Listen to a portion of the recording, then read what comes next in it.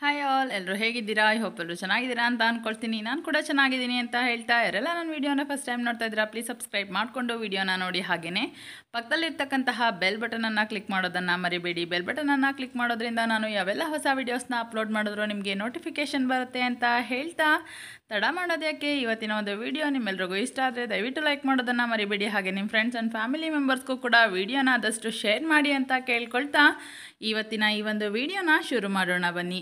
ಇನ್ನೇನು ವರಮಹಾಲಕ್ಷ್ಮಿ ಹಬ್ಬ ನಾಲ್ಕೈದು ದಿನಗಳಲ್ಲಿ ಬಂದೇ ಬಿಡ್ತು ಹಾಗಾಗಿ ಆಲ್ಮೋಸ್ಟ್ ಎಲ್ಲ ಕೆಲಸಗಳು ಕೂಡ ಶಾಪಿಂಗ್ ಆಗಿರ್ಬೋದು, ಮನೆಯಲ್ಲಿ ಕೆಲಸಗಳಾಗಿರ್ಬೋದು ಒಂದು ಫಿಫ್ಟಿ ಪರ್ಸೆಂಟ್ ಮೇಲೆ ಎಲ್ಲರ ಮನೆಯಲ್ಲೂ ಮುಗಿಸ್ಕೊಂಡಿರ್ತೀರಾ ಅಂತ ಅಂದ್ಕೊಳ್ತಾ ಇವತ್ತಿನ ಈ ಒಂದು ವಿಡಿಯೋನ ಶೇರ್ ಮಾಡ್ತಾ ಇದ್ದೀನಿ. ಅವ್ರ ಮಹಾಲಕ್ಷ್ಮಿ ಅಂತಂದರೆ ಮನೆಯಲ್ಲಿ ಕಳಶ ಪ್ರತಿಷ್ಠಾಪನೆಯನ್ನು ಮಾಡಿ ಲಕ್ಷ್ಮೀ ಸ್ವರೂಪದಲ್ಲಿ ನಾವು ಆಚರಿಸ್ತಕ್ಕಂತಹ ಹಬ್ಬ. ಈ ಹಬ್ಬದಲ್ಲಿ ನಾವು ಕಳಶಕ್ಕೆ ಒಂದು ಅಕ್ಕಿಯನ್ನು ಹಾಕಬೇಕಾ ಅಥವಾ ನೀರನ್ನು ತುಂಬಿ ನಾವು ಅವರ ಮಹಾಲಕ್ಷ್ಮಿಯನ್ನು ನಮ್ಮ ಮನೆಗೆ ಆಹ್ವಾನಿಸ್ಬೇಕಾ ಅಂತಕ್ಕಂಥದ್ದು ಹಲವಾರು ಡೌಟ್ಗಳು ನಮ್ಗಳಲ್ಲಿರುತ್ತೆ ಹಾಗಾಗಿ ಕೆಲವೊಂದು ವಿಷಯಗಳು ತಿಳಿದಿರೋದಿಲ್ಲ. ಹಾಗಾಗಿ ತಿಳಿದಿರೋರ ಹತ್ರ ಕೆಲವೊಂದು ವಿಷಯಗಳನ್ನು ನಾವು ತಿಳ್ಕೊಂಡು ಹಬ್ಬವನ್ನು ಆಚರಿಸೋದ್ರಿಂದ ನಮಗೆ ವರಮಹಾಲಕ್ಷ್ಮಿ ಹಬ್ಬದ ಸಂಪೂರ್ಣ ಫಲ ದೊರಕತ್ತೆ ಅಂತಲೇ ಹೇಳ್ಬೋದು. ಹಾಗಾಗಿ ವರಮಹಾಲಕ್ಷ್ಮಿ ಹಬ್ಬದಲ್ಲಿ ಕಳಶವನ್ನು ಪ್ರತಿಷ್ಠಾಪನೆ ಮಾಡೋದು ತುಂಬ ಮುಖ್ಯ ಆಗಿರೋದ್ರಿಂದ ಅದಕ್ಕೆ ನೀರನ್ನು ಹಾಕಬೇಕಾ, ಅಕ್ಕಿಯನ್ನು ಹಾಕಬೇಕಾ, ಹಾಕಿದರೂ ಕೂಡ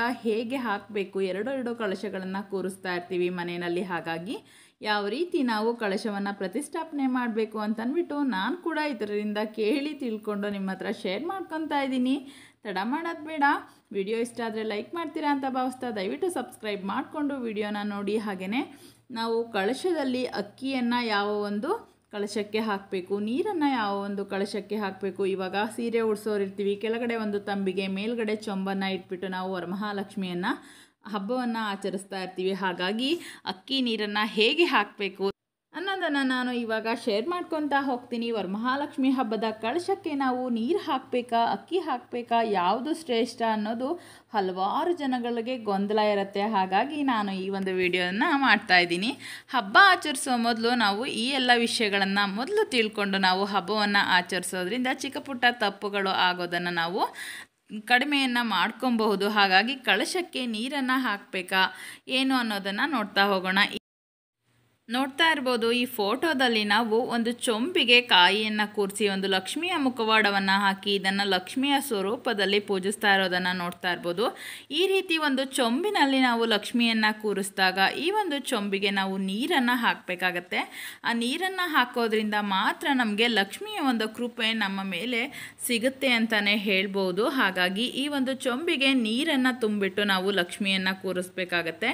ಇನ್ನು ಕೆಲವರು ಒಂದು ಬಿಂದಿಗೆನಲ್ಲೂ ಕೂಡ ಅಥವಾ ತಂಬಿಗೆ ಅಂತ ಏನು ಹೇಳ್ತೀವಿ, ಅದರಲ್ಲೂ ಕೂಡ ಲಕ್ಷ್ಮಿಯನ್ನು ಕೂರಿಸ್ತಾರೆ. ಒಂದೇ ಒಂದು ತಂಬಿಗೆಯನ್ನು ಇಟ್ಬಿಟ್ಟು ಈ ಒಂದು ತಂಬಿಗೆಯ ಮೇಲೆ ಕಾಯನ್ನು ಕೂರಿಸಿ, ಆ ಕಾಯಿಗೆ ಲಕ್ಷ್ಮಿಯ ಮುಖವಾಡವನ್ನು ಹಾಕಿ ಕೂಡ ಅವರು ಕೂಡ ಹಬ್ಬವನ್ನು ಮಾಡ್ತಾರೆ. ಅಂಥವರು ಕೂಡ ಒಂದೇ ಒಂದು ಕೊಡದಲ್ಲಿ ಕೂರಿಸ್ತಾ ಇದ್ದೀವಿ ಅಂತಂದರೆ ಇದಕ್ಕೂ ನಾವು ನೀರನ್ನು ತುಂಬಬೇಕಾಗತ್ತೆ.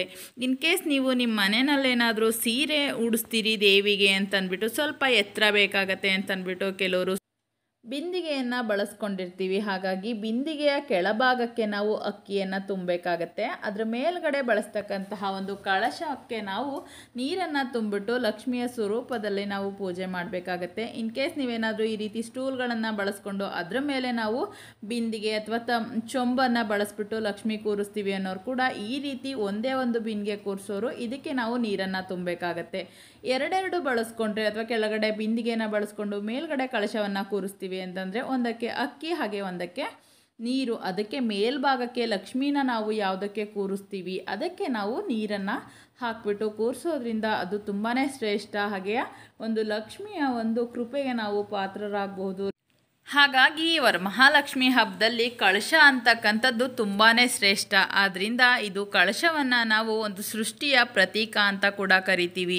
ಇದನ್ನು ನಾವು ಶುಭ ಸಮಾರಂಭಗಳಲ್ಲಿ ಕಳಶವನ್ನು ಪ್ರತಿಷ್ಠಾಪನೆ ಮಾಡಿ ಪೂಜೆಯನ್ನು ಮಾಡ್ತಾರೆ. ಏನಕ್ಕೆ ಅಂತಂದರೆ ಏನೋ ಒಂದು ಪಾಸಿಟಿವ್ ಎನರ್ಜಿ ಸಿಗುತ್ತೆ ಅಂತಕ್ಕಂತಹ ಒಂದು ನಂಬಿಕೆ ನಮ್ಮಲ್ಲಿರೋದ್ರಿಂದ ಕಳಶವನ್ನು ನಾವು ತುಂಬ ಪವಿತ್ರವಾಗಿ ಪೂಜಿಸ್ತೀವಿ. ಅದಕ್ಕೆ ನಾವು ಪ್ರತಿನಿತ್ಯ ಮನೆಯಲ್ಲೂ ಕೂಡ ಒಂದು ಕಾಯಿ ಕಳಶ ಆಗಿರ್ಬೋದು, ಎಲೆ ಕಳಶವನ್ನು ಮನೆಯಲ್ಲಿ ಇಟ್ಟು ಪೂಜೆಯನ್ನು ಮಾಡ್ತಾ ಇರ್ತೀವಿ. ಅದಕ್ಕೆ ನಾವು ಮನೆಯಲ್ಲಿ ಸಾಮಾನ್ಯವಾಗಿ ಎಲ್ಲರ ಮನೆಯಲ್ಲೂ ಕೂಡ ಕಳಶಕ್ಕೆ ಒಂದು ನೀರನ್ನು ತುಂಬಿಟ್ಟು ನಾವು ಲಕ್ಷ್ಮಿಯ ಸ್ವರೂಪದಲ್ಲಿ ಕಳಶವನ್ನು ಕೂರಿಸ್ತೀವಿ. ಹಾಗಾಗಿ ವರಮಹಾಲಕ್ಷ್ಮಿ ಹಬ್ಬದಲ್ಲೂ ಕೂಡ ನಾವು ಅಕ್ಕಿ ಕಳಶ ಅಥವಾ ನೀರು ಕಳಶವನ್ನು ಕೂರಿಸ್ಬೇಕು ಅಂತಕ್ಕಂತಹ ಡೌಟ್ ಇರೋರಿಗೆ ಈ ಒಂದು ವಿಡಿಯೋದಲ್ಲಿ ಎಲ್ಲವೂ ಕೂಡ ಕ್ಲಿಯರ್ ಆಗಿ ಅರ್ಥ ಆಗಿದೆ ಅಂತ ಭಾವಿಸ್ತೀನಿ.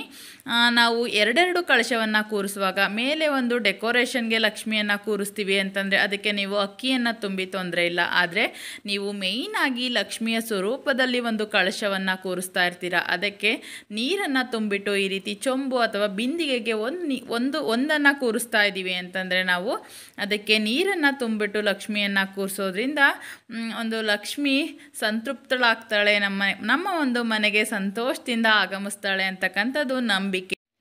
ಆದ್ದರಿಂದ ಅವರ ಮಹಾಲಕ್ಷ್ಮಿ ಹಬ್ಬದಲ್ಲಿ ನಾವು ನೀರನ್ನು ತುಂಬಿರ್ತಕ್ಕಂತಹ ಕಳಶವನ್ನು ನಮ್ಮ ಮನೆಯಲ್ಲಿ ಪ್ರತಿಷ್ಠಾಪನೆಯನ್ನು ಮಾಡೋದ್ರಿಂದ ಲಕ್ಷ್ಮಿಯು ಕೂಡ ಸಂತೃಪ್ತಳಾಗ್ತಾಳೆ. ಹಾಗಾಗಿ ನಮ್ಮ ಮನೆಯಲ್ಲಿ ಸದಾಕಾಲ ಲಕ್ಷ್ಮಿ ನೆಲೆಸಿರ್ತಾಳೆ ಅಂತಕ್ಕಂಥದ್ದು ನಮ್ಮೆಲ್ಲರ ನಂಬಿಕೆ ಆಗಿರೋದ್ರಿಂದ ನಾವು ನಮ್ಮ ಮನೆಯಲ್ಲಿ ಉಪಯೋಗಿಸ್ತಕ್ಕಂತಹ ಒಂದು ತಂಬಿಗೆ ಆಗಿರ್ಬೋದು, ಚೊಂಬು ಆಗಿರ್ಬೋದು, ನೀರನ್ನು ತುಂಬಿದ ಚೊಂಬನ್ನು ಉಪಯೋಗಿಸ್ಬೇಕು. ನೀರನ್ನು ತುಂಬಿದ ಚೊಂಬು ಏನನ್ನು ಪ್ರತಿನಿಧಿಸುತ್ತೆ ಅಂತಂದರೆ ಒಂದು ಜೀವಿಗಳ ಸೃಷ್ಟಿಗೆ ಕಾರಣವಾಗಿರ್ತಕ್ಕಂತಹ ಆದಿ ಸ್ವರೂಪ ಅಂತ ಹೇಳಿಬಿಟ್ಟು ನಾವು ನಂಬ್ತೀವಿ. ಮಾವಿನ ಎಲೆ ವಿಳ್ಳೆದೆಲೆ ತೆಂಗಿನಕಾಯಿ ಎಲ್ಲವೂ ಕೂಡ ಒಂದು ಸೃಷ್ಟಿಯನ್ನು ಪ್ರತಿನಿಧಿಸುತ್ತೆ. ಆದ್ದರಿಂದ ಆದಿ ಸ್ವರೂಪದ ಲಕ್ಷ್ಮೀ ತಾಯಿಯನ್ನು ನಾವು ಈ ರೂಪದಲ್ಲಿ ನಮ್ಮ ಮನೆಗೆ ಬರಮಾಡಿಕೊಂಡ್ರೆ ಸದಾಕಾಲ ಲಕ್ಷ್ಮಿ ನಮ್ಮ ಮನೆಯಲ್ಲಿ ನೆಲೆಸಿರ್ತಾಳೆ. ಹಾಗಾಗಿ ಅವರ ಮಹಾಲಕ್ಷ್ಮಿ ಹಬ್ಬದಲ್ಲಿ ನಾವು ಯಾವ ಒಂದು ಕಳಶವನ್ನು ಉಪಯೋಗಿಸೋದ್ರಿಂದ ಲಕ್ಷ್ಮಿ ಕೂಡ ಸಂತೃಪ್ತಳಾಗ್ತಾಳೆ, ನಮ್ಮ ಮನೆಗೆ ಸಂತೋಷದಿಂದ ಆಗಮಿಸ್ತಾಳೆ ಅಂತ ಹೇಳ್ಬಿಟ್ಟು ನಿಮ್ಮೆಲ್ರಿಗೂ ಕೂಡ ಕ್ಲಿಯರ್ ಆಗಿದೆ ಅಂತ ಭಾವಿಸ್ತೀನಿ. ನಾವು ವರಮಹಾಲಕ್ಷ್ಮಿ ಹಬ್ಬದಲ್ಲಿ ಬಳಸಿದಂತಹ ಒಂದು ಕಳಶದ ನೀರನ್ನು ದಯವಿಟ್ಟು ನೀವು ಅಲ್ಲಿ ಇಲ್ಲಿ ಚೆಲ್ಲೋದಕ್ಕೆ ಹೋಗಬೇಡಿ. ಇದು ಕೂಡ ತುಂಬಾ ಮುಖ್ಯ. ನಾವು ಕಳಶ ಪ್ರತಿಷ್ಠಾಪನೆಯನ್ನು ಎಷ್ಟು ಭಕ್ತಿಯಿಂದ ಮಾಡ್ತೀವಿ, ಕಳಶ ವಿಸರ್ಜನೆಯನ್ನು ಕೂಡ ಅಷ್ಟೇ ಶ್ರದ್ಧಾ ಭಕ್ತಿಯಿಂದ ಮಾಡಬೇಕಾಗತ್ತೆ. ಹಾಗಾಗಿ ಪೂಜೆ ಮುಗಿದ ನಂತರ ನೀರನ್ನು ನಾವು ಮನೆಗೆ ಪ್ರೋಕ್ಷಣೆಯನ್ನು ಮಾಡಬೇಕಾಗತ್ತೆ. ಮನೆಯ ಪ್ರತಿಯೊಂದು ಮೂಲೆ ಮೂಲೆಗೂ ಕೂಡ ಪ್ರೋಕ್ಷಣೆಯನ್ನು ಮಾಡಿ.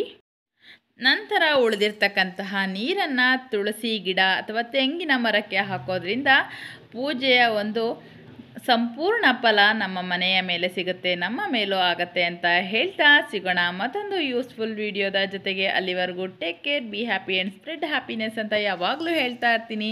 ಸಿಗೋಣ ಮತ್ತೊಂದು ವಿಡಿಯೋದ ಜೊತೆಗೆ ಅಲ್ಲಿವರೆಗೂ. ಬಾಯ್ ನಮಸ್ಕಾರ.